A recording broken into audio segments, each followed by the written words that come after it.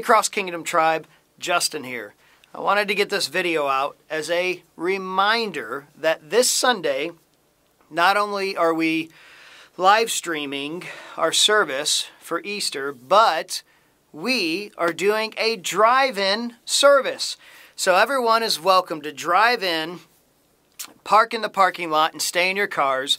We're actually going to do the entire service outside uh, Kalen Mills is building us a nice stage that we'll be able to use for all sorts of different events and outreach uh, outreaches in the future. And uh, really excited about this. And as of right now, the weather's supposed to be good and 77 degrees for the high.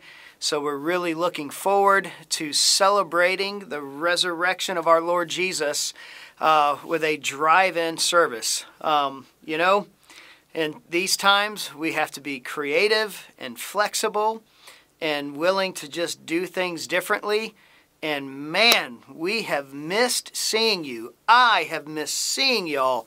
I can't tell you how many times over the last couple of weeks that I've literally just had tears running down my face of just thinking about what it's going to feel like when we're all able to come together, um, Lord willing, in May uh, in person. So we love y'all.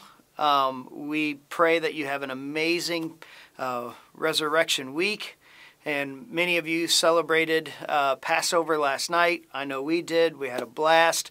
It was good to get together with a few people and just love on each other and celebrate the Lamb that was slain before the foundations of the earth. So, we will see y'all this Sunday, either in the parking lot or online. Bless y'all.